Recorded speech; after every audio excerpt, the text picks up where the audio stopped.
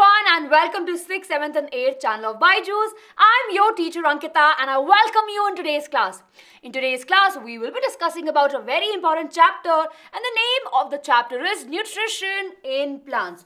So we'll be discussing about all the important key concepts, important key words and we will have an outlook or a quick summary of the whole chapter. So please make sure you are sitting with your pen and your notebook so that you can note down all the important points that we will be discussing in today's class. And if it's your first time on our channel, please make sure to subscribe to our channel and please make sure to hit the like button for the video. When I ask you to subscribe, I'm asking you because we soon will be starting the crash course for the grade 6, 7th and 8th. And these crash courses will be helping you in mastering your examination. So this video if you're watching is a part of a crash course where we are helping you to upskill yourself in this particular chapter. So please make sure to subscribe to the channel and go through the amazing videos that we have created for you. Now that we are there, let's talk about this very important chapter. So here we go. Now I'm sure all of you have been in this particular situation, right? We play and we feel super happy about it. But if we play for a longer duration, from morning till evening, I'm sure we would experience a little bit low in energy, right? We'll feel lethargic also at some time. Yes, and this happens to each one of us. Now, after we go home, if we grab some quick, amazing, yummy snacks, we will feel more energized, right? We will have more of energy. Now, why this is the case? Now, and why this is really very important for us and what is important thing that we are taking or what is important component that we are, here discussing about it that gives us the energy. And of course, the answer is the nutrition. So let's understand what is nutrition. Nutrition is a mode of taking food by an organism and of course it is getting utilized. It is getting, uh, basically we will see the utilization of it by the body, right? And of course from there, eventually there are various reactions will occur and we will have the energy. So in short, we can say that nutrition is a mode of taking food by an organism and it, its utilization by the body. It's a one marks question. So please make sure you note down this. Now that we are clear with what is nutrition, we have two major types of it. First, of course, we'll discuss about the autotrophic uh, nutrition and then, of course, we'll discuss about the heterotrophic nutrition. In the autotrophic nutrition, we understand that these mode of nutrition occurs in those organisms that can make their own food. And here we have the biggest example of plants. Plants can make their own food, right? And that's why we call them as autotrophs. And they have the autotrophic mode of nutrition. Whereas we animals, right, like deer over here and other animals like us, we are dependent upon the others for our food. So we have a mode of nutrition which is the heterotrophic mode of nutrition and hence we call ourselves or the organisms that depend upon others for their food, we call them as the heterotrophs. So again, this particular concept is really very important for two marks. Usually come for the difference, right? Write the difference between the autotrophic nutrition and the heterotrophic nutrition. So I hope that you're noting all of these important points down. Now that we are clear with these two important topics, let's look in detail and let's understand about the autotrophic mode of nutrition. So here we are talk talking about the autotrophic mode of nutrition and over here we will be discussing about the very famous example of plants.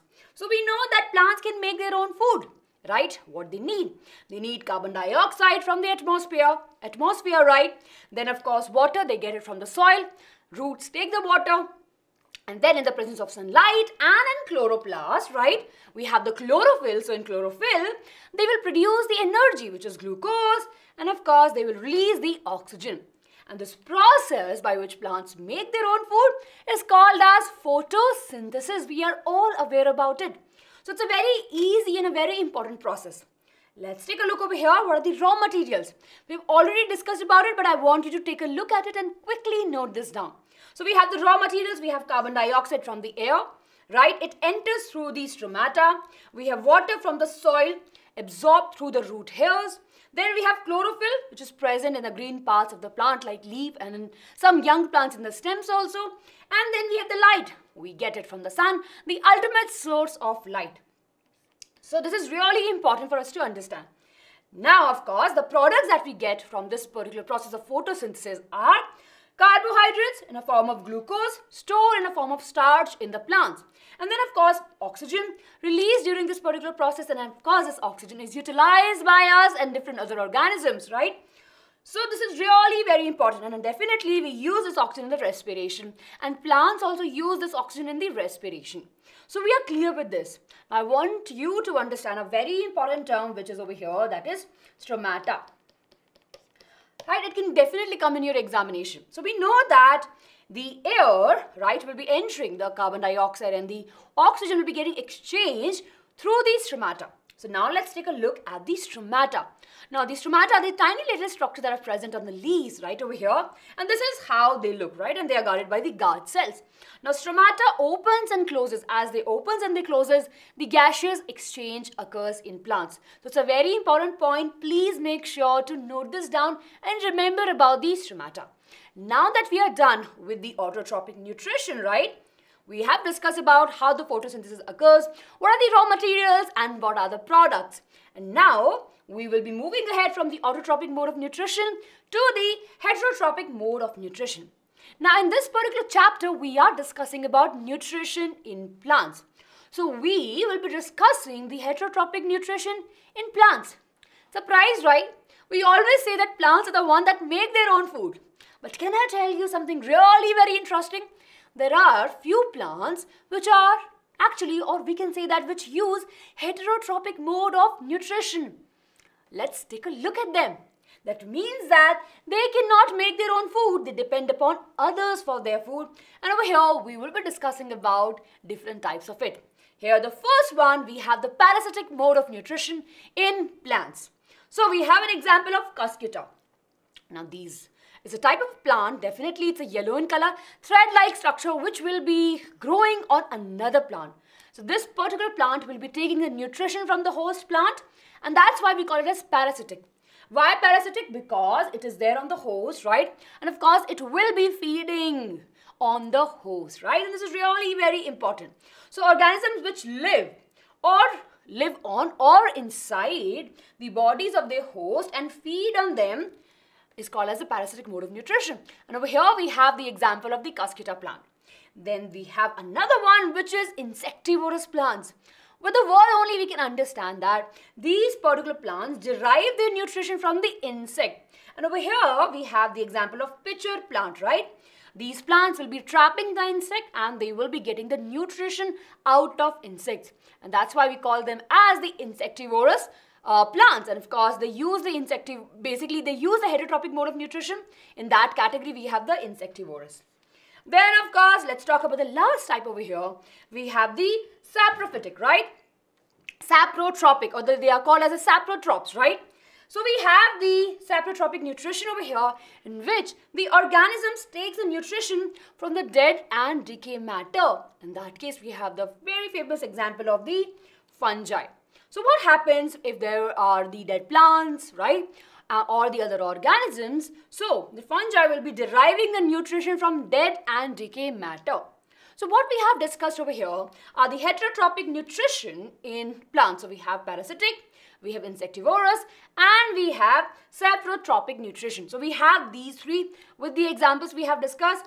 It's a three marks question, right? Individually, these can come for one, one marks or for two marks. And together, they can come for three marks. So I hope that you have noted this down. It's really very important from the exam point of view.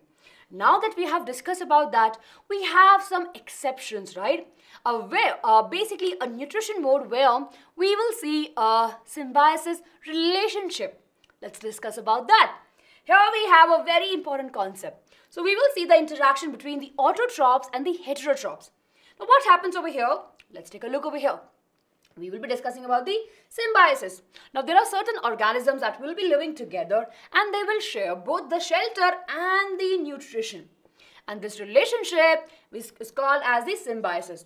Now this relationship is really very healthy because they are not damaging or not harming the other organisms but they're actually helping each other. If one is providing the shelter, other will provide the nutrition. And that's how they will grow. We have a very good example of the lichen over here. And then we have the rhizobium in leguminous plants, right? So over here, first let's discuss about the lichen. So, chlorophyll containing algae. So algae is there and then we have the fungi. So we have the chlorophyll containing algae and we have fungi that lives together. Fungi will provide the shelter, water and minerals whereas the algae will provide the food. Really very good relationship, right? And of course lichens are the one of the amazing example. We can see the lichens if you're going deep under the forest, right? You will be able to see these patches in the trees. Those are lichens and it's a combination of the algae and fungi. So please make sure you remember that. Then we have one more interesting example. This is the example of the rhizobium and leguminous plants. So rhizobium is a bacteria that lives in the root nodules of these leguminous plants, right? And of course, it actually helps in converting the nitrogen so that the plants can easily use them. Super, super important, right? So we have a bacterium called as rhizobium, right? And it actually helps in fixing the nitrogen and convert it into the usable form. Whereas the uh, the plants actually provide them with the food and the shelter. So this is how they are, they have a relationship where they are both are giving and taking. This is a very healthy relationship and in biology we call such relation as the symbiosis. A very important two marks question everyone. Please make sure to take a note of this. Now we have discussed about the autotrophic mode of nutrition and the heterotrophic mode of nutrition. Apart from that, we know that nutrition is really very important.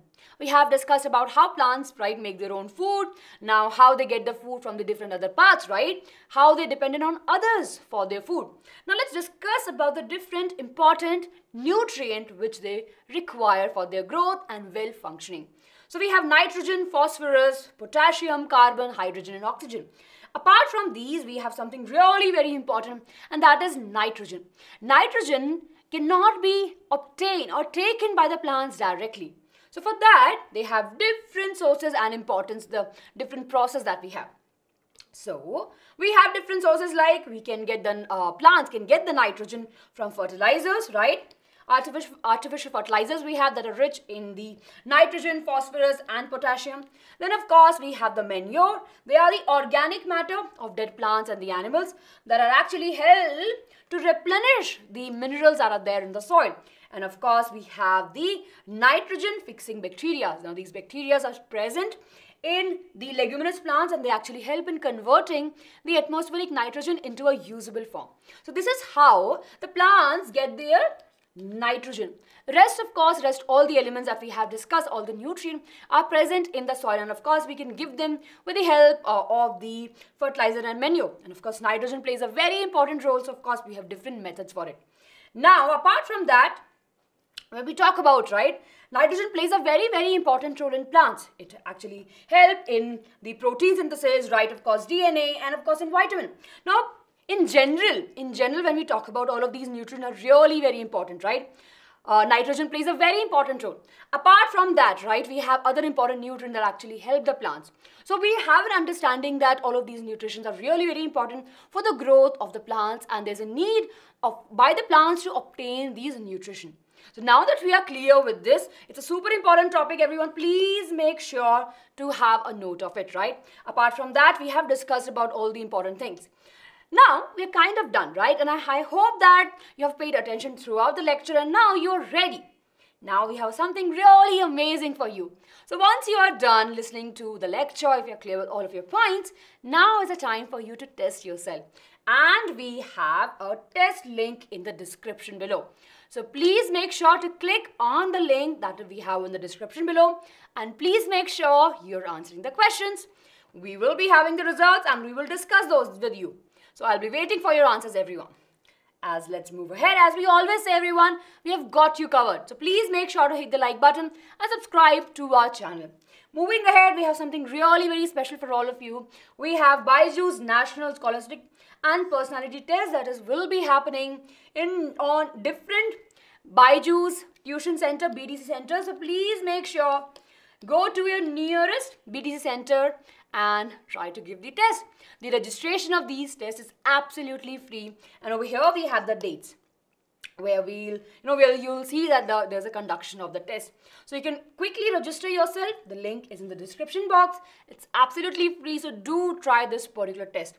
Now, this test will be helping you to understand about lot of things about the skill set that you have, about your overall an, an, an analysis, right? Then of course it'll be helping you to understand about your behavior, the subject analysis, your capability, and of course definitely the careers that you can opt in the future. It's a very, very amazing test, so please make sure to take it. And of course we have amazing, amazing rewards for each one of you. So please make sure you are registering for the test. Apart from that, we talk about 28th of January, Tarana ma'am will be coming live and ma'am will be having quiz master with all of you guys. So please make sure to watch this session. If you haven't registered, please make sure to register. And on that note, everyone, we will say bye-bye. Please make sure to hit the like button. Please make to share with your friends. And if you're new here, do take a moment and hit that subscribe button if you have enjoyed this video.